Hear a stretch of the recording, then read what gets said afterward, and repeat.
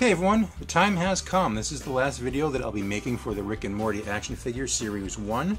Uh, this is the Snowball Build-A-Figure. So let's go ahead and pop him together. So here is Snowball's torso piece. So Snowball in the mech suit's torso. Uh, go ahead and pop the arms on. You can see there's this peg, peg here on the arm. Uh, it's rounded at the end, so that'll help keep it in place. I'm just going to pop it into this hole. And it is does take some effort to get it in there, but once you pop it in place, it's not going to pop out easily. Same thing for his other arm. I'm going to pop that in on this side.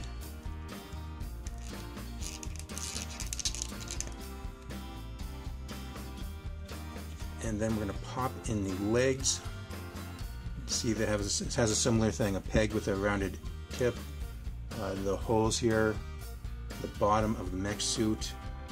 It's just a matter of determining which one is which. They're not, I think they're labeled left and right.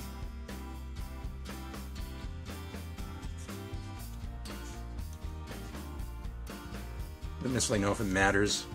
Let's go ahead and pop them in.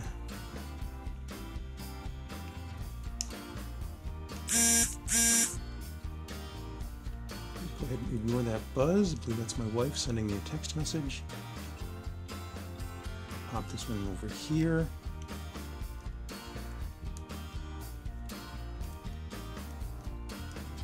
So those fit pretty snugly, but they didn't actually pop like the shoulders did, so I'm not sure uh, if these are in risk of falling out accidentally.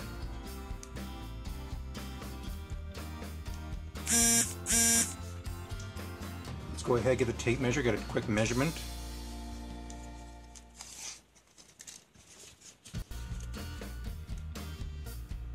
Okay, so he is probably about three and three quarter inches tall. May look a little bit taller in the video just because of the angle of the camera. Uh, in regards to articulation, well, you saw all the um, the ball and ball and socket joints, so everything moves around uh, pretty well. Uh, arms are limited just because they're so bulky. Um, the outward motion, uh, there's no elbows articulation, so it's just at the shoulders. Uh, the legs can swivel side to side, and they have a little bit of back and forth movement, but that again is going to be restricted because of the way that the toy is designed. I really do like the uh, detail they put in Snowball here. Uh, he has his cap on to control the machine, and he also has this uh, clear uh, or translucent blue plastic piece as his visor. So it's a very nice touch. So it was just a quick little video to review the Snowball Mech Suit Build-A-Figure uh, pieces. Um, if you have any questions at all, please let me know down below. I do thank you for stopping by. Please remember to comment, like, and subscribe. And until next time, we'll talk to you later.